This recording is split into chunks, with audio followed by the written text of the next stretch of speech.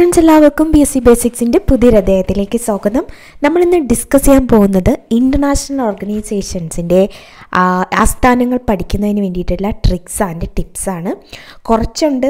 നിങ്ങൾക്ക് എത്രത്തോളം ഇത് മനസ്സിലാവുന്നു എന്നുള്ളത് എനിക്കറിയത്തില്ല വേറെ എന്തെങ്കിലും ടിപ്സ് ആൻഡ് ട്രിക്സ് നിങ്ങൾക്ക് അറിയാമെങ്കിൽ തീർച്ചയായിട്ടും കമന്റും ചെയ്യാം. ഈ അന്താരാഷ്ട്ര സംഘടനകളെക്കുറിച്ച് V O L D C L G S എക്സാമുകൾക്ക് ചോദിക്കാൻ സാധ്യതയുള്ളത് കാര്യങ്ങളെല്ലാം ഉൾപ്പെടുത്തിയിട്ട് ഒരു ഒരു കോഴ്സ് ഞാൻ അണക്കാഡമിയിൽ ചെയ്യുന്നുണ്ട്. അപ്പോൾ ഈ കോഴ്സ് നിങ്ങൾക്ക് അവൈലബിൾ ആവശ്യമുണ്ട് എന്നുണ്ടെങ്കിൽ നിങ്ങൾ തീർച്ചയായിട്ടും കമന്റ് ബോക്സ് ചെക്ക് ചെയ്യുക അല്ലെങ്കിൽ ഇതിന്റെ ഡിസ്ക്രി ഡിസ്ക്രിപ്ഷൻ ബോക്സ് ചെക്ക് ചെയ്ത് നോക്കുക. ഞാൻ അതിനകത്ത് ഇട്ടേക്കാം. എന്റെ ക്ലാസ്സുകൾ നിങ്ങൾക്ക് ഇഷ്ടപ്പെടുന്നുണ്ടെങ്കിൽ തീർച്ചയായിട്ടും എന്റെ ചാനൽ നിങ്ങൾ സബ്സ്ക്രൈബ് ചെയ്യണം. ഓക്കെ അപ്പോൾ എന്തെങ്കിലും കൂടുതൽ കോഡുകൾ നിങ്ങൾക്ക് ആവശ്യമുണ്ടെങ്കിൽ താഴെ കമന്റ് ചെയ്യാനായിട്ട് മറക്കണ്ട. ഓക്കെ അപ്പോൾ നമുക്ക് സ്റ്റാർട്ട് ചെയ്യാം. ഫസ്റ്റ് ജനീവ ആസ്ഥാനമായിട്ടുള്ള വർണയിന്റെ പ്രത്യേകതയാണ്. നിങ്ങൾ ശ്രദ്ധിച്ചാൽ തന്നെ നിങ്ങൾക്കതെല്ലാം മനസ്സിലാവും. ജനീവ എന്ന് പറയുമ്പോൾ നമുക്ക് ഫസ്റ്റിൽ ഓർമ്മ പറഞ്ഞത് എന്താണ്? വേൾഡ് ട്രേഡ് ഓർഗനൈസേഷന്റെ ആസ്ഥാനം ജനീവയാണെന്നാണ്. ഇതൊക്കെ ബേസിക് ആയിട്ടുള്ള കാര്യമാണ്. അപ്പോൾ എപ്പോഴും ഓർമ്മിച്ചിരിക്കാനുള്ള കാര്യം ജനീവ എവിടെയാണ്? സ്വിറ്റ്സർലൻഡിലാണ്. അപ്പോൾ വേൾഡ് ഇന്റർനാഷണൽ ഇങ്ങനെ സ്റ്റാർട്ട് ചെയ്യുന്ന ഏതൊരു അന്താരാഷ്ട്ര സംഘടനയുടെയും അവസാനം ഓർഗനൈസേഷനിലാണ് അവസാനിക്കുന്നതെങ്കിൽ അതിന്റെ ആസ്ഥാനം ഏതായിരിക്കും? ജനീവയായിരിക്കും. പക്ഷേ ഇതിനകത്ത് ഒരു കാര്യം മാത്രം എന്താണ് ഡിഫറെന്റ് ആണ്. അത് നമുക്ക് അടുത്ത കേസിൽ പറയുമ്പോൾ നിങ്ങൾക്ക് പറഞ്ഞുതരാം. ഓക്കെ അപ്പോൾ ജനീവ ആസ്ഥാനമായിട്ട് വരുന്ന എല്ലാ ഓർഗനൈസേഷന്റെയും പ്രത്യേകത എന്താണ്? സ്റ്റാർട്ട് ചെയ്യുന്നത് വേൾഡിലും അല്ലെങ്കിൽ ഇന്റർനാഷണലിൽ ദെൻ അവസാനിപ്പിക്കുന്നത് ഓർഗനൈസേഷനിലും ആയിരിക്കും. അപ്പോൾ വേൾഡ് വെച്ച് വരുന്ന വേൾഡിലും ഓർഗനൈസേഷനിലും അവസാനിക്കുന്ന ജനീവ ആസ്ഥാനമാക്കിയിട്ടുള്ള അന്താരാഷ്ട്ര സംഘടനകൾ ഫസ്റ്റ് നമുക്ക് നോക്കാം. ഒന്നാമത്തത് വേൾഡ് ഇന്റലക്ച്വൽ പ്രോപ്പർട്ടി ഓർഗനൈസേഷൻ വിപ്പോ വിപ്പോയുടെ ആസ്ഥാനം എവിടെയാണ്? ജനീവയിലാണ്. അപ്പോൾ വേൾഡ് അവിടെ സ്റ്റാർട്ടിങ് വേൾഡിലാണ് അവസാനിക്കുന്നത് ഓർഗനൈസേഷനിലുമാണ്. സോ അതിന്റെ ആസ്ഥാനം ജനീവയാണ്. അടുത്തത് world health organization W H O ആണ് വേൾഡ് ഹെൽത്ത് ഓർഗനൈസേഷന്റെ സ്ഥാനം എവിടെയാണ്? ജനീവയാണ്. അപ്പോൾ അതിന്റെയും സ്റ്റാർട്ടിങ്ങിൽ വേൾഡും അവസാന ഓർഗനൈസേഷനും അടുത്തത് വേൾഡ് മെറ്റീരിയോളജിക്കൽ ഓർഗനൈസേഷനാണ് കാലാവസ്ഥ ഓർഗനൈസേഷൻ അപ്പോൾ അതിന്റെതും ഡബ്ല്യു എം ഒ ആണ് അതിന്റെയും സ്റ്റാർട്ടിങ് വേൾഡ് അവസാനം ഓർഗനൈസേഷനിലാണ് എൻഡ് ചെയ്യുന്നത്. സോ അതിന്റെ ആസ്ഥാനവും ജനീവയാണ്. അടുത്ത് നോക്കുമ്പോൾ വേൾഡ് ട്രേഡ് ഓർഗനൈസേഷൻ ആണ്. വേൾഡ് ട്രേഡ് ഓർഗനൈസേഷന്റെ ഫസ്റ്റ് ലെറ്റർ വേൾഡും ലാസ്റ്റ് ലെറ്റർ ലാസ്റ്റ് വേർഡ് ഓർഗനൈസേഷനുമാണ് അപ്പോൾ അതിന്റെ ആസ്ഥാനം എവിടെയാണ്? ജനീവയാണ്. അപ്പോൾ ഇതിൽ നിന്ന് നമ്മൾ കൺക്ലൂഡ് ചെയ്യുന്നത് വേൾഡ് അല്ലെങ്കിൽ ഇന്റർനാഷണൽ വെച്ച് സ്റ്റാർട്ട് ചെയ്യുന്നതും ഓർഗനൈസേഷനിൽ എൻഡ് ചെയ്യുന്നതുമായിട്ടുള്ള ഏത് അന്താരാഷ്ട്ര സംഘടന എടുത്താലും അതിന്റെ എല്ലാം ആസ്ഥാനം ജനീവയായിരിക്കും എക്സെപ്റ്റ് ഒരു കാര്യം മാത്രം ഒഴികെ ഇന്റർനാഷണൽ മാരിടൈം ഓർഗനൈസേഷൻ ഉണ്ട്. അതിന്റെത് മാത്രം അവിടെയല്ല അത് നമുക്ക് പഠിക്കാം. ഓക്കെ അപ്പോൾ പിന്നെ ബാക്കിയുള്ള എല്ലാം വേൾഡ് വെച്ച് സ്റ്റാർട്ട് ചെയ്യണം ഇന്റർനാഷണൽ വെച്ച് സ്റ്റാർട്ട് ചെയ്തിട്ട് ഓർഗനൈസേഷൻ കൊണ്ട് അവസാനിക്കുകയാണെങ്കിൽ അതിന്റെ ആസ്ഥാനം ജനീവയായിരിക്കും. ഇനി നമുക്ക് ഇന്റർനാഷണൽ വെച്ച് സ്റ്റാർട്ട് ചെയ്യുന്നത് നോക്കാം. ഒന്നാമത്തത് ഇന്റർനാഷണൽ ലേബർ ഓർഗനൈസേഷൻ. അതിന്റെ ആസ്ഥാനം എവിടെയാണ്? ജനീവയാണ്. അടുത്തത് international committee for red cross organization international committee for അതിന്റെയും international എവിടെയാണ് സ്റ്റാർട്ട് ചെയ്യുന്നത്? ദെൻ ഓർഗനൈസേഷൻ അവസാനമുണ്ട്. അപ്പോൾ റെഡ് ക്രോസ് ഒന്നും കൂടെ ഓർമ്മിച്ച് വെച്ചേക്കണം. കാരണം റെഡ് ക്രോസ് എന്ന് മാത്രം ചോദിച്ചാലും ജനീവയാണ് ആസ്ഥാനം റെഡ് ക്രോസിന്റെ ഫുൾ നെയിം എന്താണ്? International committee for red cross organization എന്നാണ്.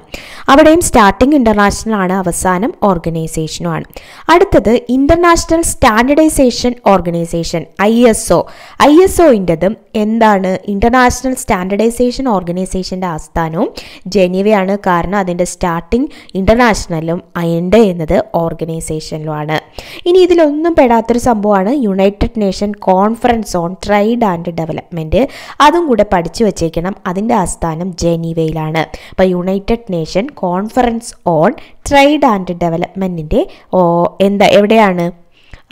ആസ്ഥാനം ജനീവയിലാണ്. ഓക്കെ ഇനി അടുത്തത് ജനീവയുടെ കേസ് കഴിഞ്ഞു. വേൾഡ് ഇന്റർനാഷണൽ സ്റ്റാർട്ട് ചെയ്യുന്നു. ഓർഗനൈസേഷൻ അവസാനിക്കുന്ന എല്ലാ എന്തായിരിക്കും? ജനീവ ആയിരിക്കും ഇനി അടുത്തത് ലണ്ടനാണ് ലണ്ടൻ ആസ്ഥാനമായിട്ട് വരുന്നതാണ്. I am common man in London എന്താണ് ആ സെന്റൻസ് അതുപോലെ പഠിച്ചു വയ്ക്കണം I am common man in London നമ്മൾ ജനീവയുടെ കേസ് പറഞ്ഞപ്പോൾ ഒരു എക്സെപ്ഷൻ പറഞ്ഞായിരുന്നു. ഏത്? ഇന്റർനാഷണൽ മാരിടൈം ഓർഗനൈസേഷൻ നോക്ക് അതിന്റെ ഫസ്റ്റ് ആരംഭിക്കുന്നത് ഇന്റർനാഷണലാണ് പക്ഷേ അവസാനിക്കുന്നത് ഓർഗനൈസേഷനിലുമാണ് അപ്പോൾ നമ്മൾ എന്തായിരിക്കും? നമ്മുടെ ആദ്യത്തെ കൺസെപ്റ്റ് വെച്ച് നമ്മൾ പറയും ജനീവയാണ് ആസ്ഥാനം എന്ന്. പക്ഷേ ജനീവയല്ല ആസ്ഥാനം. എവിടെയാണ് ആസ്ഥാനം?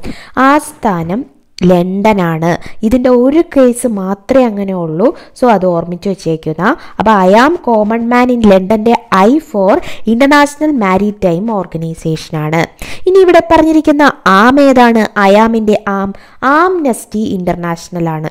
ഇതിന്റെ ഫുൾ ഡീറ്റെയിൽസ് ആംനസ്റ്റി ഇന്റർനാഷണലൊക്കെ കുറച്ചുകൂടെ ഡീറ്റെയിൽ ആയിട്ട് പഠിക്കണം. ഇതിന്റെ ഫുൾ ഡീറ്റെയിൽസ് വെച്ചിട്ടുള്ളത് ഞാൻ അക്കാഡമിയിൽ കോഴ്സ് ഉണ്ട്. നിങ്ങൾ അതൊന്ന് കംപ്ലീറ്റ് കാണുക. നിങ്ങൾക്ക് എക്സാമിന് ഒരുപാട് ഉപകാരപ്രദമാകുന്ന രീതിയിലാണ് അത് അറേഞ്ച് ചെയ്തിരിക്കുന്നത്. ഓക്കെ അപ്പോൾ ആം എന്ന് പറയുന്നത് ഇതിനകത്ത് ആംനസ്റ്റി ഇന്റർനാഷണൽ ആണ്. അപ്പോൾ ആംനസ്റ്റി ഇന്റർനാഷണലിന്റെ ആസ്ഥാനവും ലണ്ടനാണ് അടുത്തത് commonwealth of nation common man എന്ന് പറഞ്ഞില്ലേ?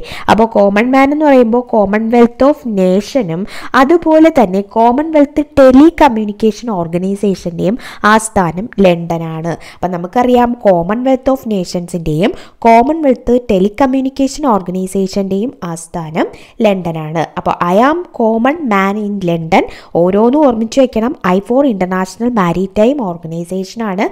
അതിന്റെ ആസ്ഥാനം ലണ്ടനാണ് ആം ഫോർ ആംനസ്റ്റി ഇന്റർനാഷണൽ ആണ്. അടുത്തത് കോമൺവെൽ കോമൺവെൽത്ത് ഓഫ് നേഷൻസും കോമൺവെൽത്ത് ടെലികമ്മ്യൂണിക്കേഷൻ ഓർഗനൈസേഷനും ലണ്ടനാണ് ആസ്ഥാനം. ഇനി വാഷിങ്ടൺ ഡി സിയുടെ പ്രത്യേകത എന്താണ്? രണ്ട് സംഭവം ബ്രിട്ടനോട് സഹോദരികൾ എന്നറിയപ്പെടുന്ന ഐ എം എഫിന്റെയും വേൾഡ് ബാങ്കിന്റെയും ആസ്ഥാനം വാഷിങ്ടൺ ഡി സി ആണ് മറക്കരുത്. ഐ എം വേൾഡ് ബാങ്കും എന്താണ്? സിസ്റ്റേഴ്സാണ് സോ വാഷിങ്ടൺ ഡി സി ആണ് ഐ എം എഫിന്റെയും വേൾഡ് ബാങ്കിന്റെയും ആസ്ഥാനം. അത് മറക്കരുത്.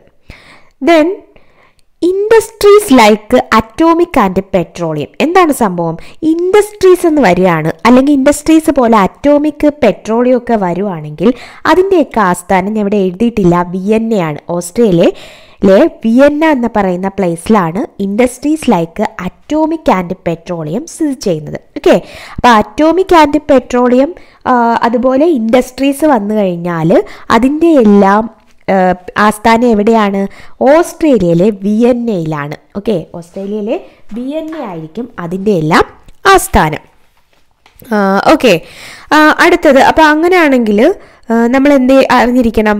നമ്മൾ അറിഞ്ഞിരിക്കേണ്ടത് ഏതൊക്കെയാണ് അങ്ങനെ വരുന്നതെന്നുള്ളതാണ്. അതിനകത്ത് ഒന്നാമത്തത് യുണൈറ്റഡ് നേഷൻ ഇൻഡസ്ട്രിയൽ ഡെവലപ്മെന്റ് ഓർഗനൈസേഷനാണ് യുണൈറ്റഡ് നേഷൻ ഇൻഡസ്ട്രിയൽ ഡെവലപ്മെന്റ് ഓർഗനൈസേഷനാണ് അപ്പോൾ അതിന്റെ ആസ്ഥാനം എവിടെയാണ്? അതിന്റെ ആസ്ഥാനം വിയന്നയിലാണ് അടുത്തത് ഇന്റർനാഷണൽ അറ്റോമിക് എനർജി ഏജൻസി അപ്പോൾ അറ്റോമിക് വന്നാലും അതിന്റെ ആസ്ഥാനം എവിടെ ആയിരിക്കണം എണ്ണയും അങ്ങനെയുള്ള സംഭവങ്ങളെല്ലാം വന്നാലും അതിന്റെ എല്ലാം വി എൻ എ ആയിരിക്കും. അപ്പോൾ അതുപോലെ അപ്പോൾ ഇവിടെ ഇന്റർനാഷണൽ അറ്റോമിക് എനർജി ഏജൻസിയുടേതും ആണ്. അടുത്തത് organization of the petroleum exporting countries OPEC ഓയിലിന്റെതാണ് organization of the petroleum exporting കൺട്രീസിന്റെതും എവിടെയായിരിക്കും? എ ആയിരിക്കും. അപ്പോൾ ഇൻഡസ്ട്രി വന്നാലും അറ്റോമിക് എനർജി വന്നാലും പെട്രോളിയം വന്നാലും വി എൻ എ ആയിരിക്കും വരുന്നത്.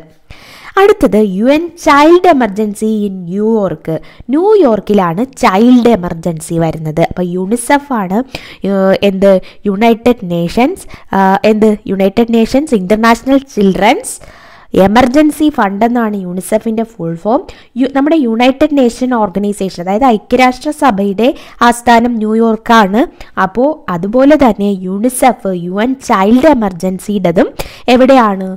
ന്യൂയോർക്കിലാണ് ആസ്ഥാനം മറക്കരുത് ഇത് രണ്ട്. അടുത്തത് എക്കണോമിക് ആൻഡ് എഡ്യൂക്കേഷനിൽ വരുമ്പോൾ അതെല്ലാം പാരീസിലായിരിക്കും. അപ്പോൾ പാരീസിലാണ് നമ്മൾ ഹയർ സ്റ്റഡീസിലൊക്കെ പോകുന്നത്. So പാരീസിലാണ് economic and educational in Paris അപ്പോൾ യുനെസ്കോയാണ് നമുക്കറിയാം വിദ്യാഭ്യാസ ശാസ്ത്ര സാംസ്കാരിക സംഘടന. അപ്പോൾ യുനെസ്കോയുടെയും അതുപോലെ തന്നെ ഒ ഇ സി ഡി അതായത് organization for economic cooperation development ഇത് രണ്ടിന്റെ ആസ്ഥാനം പാരീസ് ആണ് അപ്പോൾ എക്കണോമിക് ചോദിക്കുകയാണെങ്കിലും എഡ്യൂക്കേഷണൽ ചോദിക്കുകയാണെങ്കിലും അതിന്റെ ആസ്ഥാനം എവിടെയായിരിക്കും? പാരീസ് ആയിരിക്കും മറക്കരുത്. അപ്പോൾ യുനെസ്കോ പാരീസ് ആണ് യുണിസെഫ് എവിടെയാണ്? ന്യൂയോർക്കാണ്. ഇതൊന്നും തിരിയരുത്. ഓക്കെ. അടുത്തത് ഓരോന്നായിട്ടുള്ളതാണ്. ഏഷ്യൻ ഡെവലപ്മെന്റ് ബാങ്ക് നമുക്കറിയാം എ ഡി ബി ആണ് Asian development bank Asian man എന്ന് പഠിച്ചിരുന്നാൽ മതി. ഫിലിപ്പൈൻസിലെ മനിലയാണ് ഏഷ്യൻ ഡെവലപ്മെന്റ് ബാങ്കിന്റെ ആസ്ഥാനം. അപ്പോൾ ഏഷ്യൻ മാൻ എന്ന് പഠിച്ചിരുന്നാൽ മതി. അപ്പോൾ മാൻ മനിലയാണ് ഏഷ്യൻ ഡെവലപ്മെന്റ് ബാങ്കിന്റെ ആസ്ഥാനം മനില. അടുത്തത് എയ്സ് ജാക്ക്. അപ്പോൾ ആസിയാൻ കൺട്രീസിന്റെ ആസിയാൻ സമ്മിറ്റിന്റെത് എവിടെയാണ്? ഇന്തോനേഷ്യയിലെ ജക്കാർത്തയാണ്. അപ്പോൾ ജാക്ക് എയ്സ് ഏഷ്യനിലെ എ എസ് സി എടുക്കുമ്പോൾ നമുക്ക് എ സി എന്ന് എടുക്കാം. അപ്പോൾ എയ്സ് ആണ് ജാക്കാണ് അപ്പോൾ ജാക്ക് ജക്കാർത്ത. അപ്പോൾ ഏഷ്യൻ ആസിയാൻ ജക്കാർത്ത തിരിയരുത്. ദെൻ ഫുഡ് ഇഡലി എന്താണ് സംഭവം? ഫുഡ് അഗ്രികൾച്ചറൽ ഓർഗനൈസേഷൻ ഭക്ഷ്യ കാർഷിക സംഘടനയുടെ ആസ്ഥാനം ഇറ്റലിയിലെ റോമാണ്. അപ്പം നമുക്കറിയാം റോം ഇറ്റലിയിലാണെന്ന്. അപ്പോൾ ഫുഡിന്റെത് എവിടെയാണ്? ഇഡലിയിലാണ്. ഇഡലി. അപ്പോൾ അത് ഓർമ്മിച്ച് വയ്ക്കണം ഫുഡ് ഒരു ഇഡലി അല്ലേ? അപ്പോൾ ഇഡലി ഒരു ഫുഡല്ലേ അപ്പോൾ ഫുഡ് അഗ്രികൾച്ചറൽ ഓർഗനൈസേഷന്റെത് റോം ഇറ്റലിയിലാണ്. നെക്സ്റ്റ് ലാസ്റ്റ് വണ്ണാണ് ഇന്റർനാഷണൽ കോർട്ട് ഓഫ് ജസ്റ്റിസ് അതായത് നമുക്കറിയാം കോർട്ട് ഹാങ് ആയാൽ അവസ്ഥ എന്താണ്? അത് തന്നെ ഇവിടെ സംഭവം. കോർട്ട് ഹാങ്ഡ് എന്ന് ഓർമ്മിച്ച് വെച്ചേക്കുക ഇന്റർനാഷണൽ കോർട്ട് ഓഫ് ജസ്റ്റിസിന്റെ ആസ്ഥാനം ഹേഗാണ്. ഓക്കെ? അപ്പോൾ ഹേഗാണ് ഇന്റർനാഷണൽ കോർട്ട് ഓഫ് ജസ്റ്റിസിന്റെ ആസ്ഥാനം. അപ്പോൾ ഇത്രയാണ് നമ്മുടെ അന്താരാഷ്ട്ര സംഘടനകളിൽ കോഡ് വെച്ച് പഠിക്കാനുള്ളത്. ഇനി ഏതെങ്കിലും നിങ്ങൾക്ക് ഡൗട്ട്സ് തോന്നുന്നുണ്ടെങ്കിൽ തീർച്ചയായിട്ടും കമന്റ് ചെയ്യുക. അതിനനുസരിച്ചിട്ടുള്ള ആൻസർ നിങ്ങൾക്ക് അൺഅക്കാഡമിയിൽ ബാക്കി കോഴ്സിൽ ഞാൻ ആഡ് ചെയ്യുന്നതായിരിക്കും. ഓക്കെ അപ്പോൾ എല്ലാവർക്കും ഈ ഒരു വീഡിയോ ഇഷ്ടപ്പെട്ടെങ്കിൽ നിങ്ങളുടെ ഫ്രണ്ട്സിനോട് ഷെയർ ചെയ്യണം. കൂടാതെ നിങ്ങളിത് റിപ്പീറ്റ് ചെയ്ത് കേട്ട് ഓരോന്നും മനസ്സിലാക്കാനായിട്ട് ശ്രദ്ധിക്കുക. കൺഫ്യൂസ്ഡ് ആക്കി നമ്മുടെ മാർക്ക് കുറയ്ക്കാൻ ചാൻസ് ഉള്ളതാണ്. എന്നെ അൺഅക്കാഡമിയിൽ ഫോളോ ചെയ്യുന്നതിന് വേണ്ടിയിട്ട് തീർച്ചയായിട്ടും ഞാൻ കമന്റ് ബോക്സിലും അതുപോലെ ഡിസ്ക്രിപ്ഷൻ ബോക്സിലും ലിങ്ക് ഇട്ടേക്കും. നിങ്ങൾ അതൊന്ന് ജസ്റ്റ് കണ്ടു നോക്കാം ഓക്കെ അപ്പോൾ എല്ലാവർക്കും all the best and thank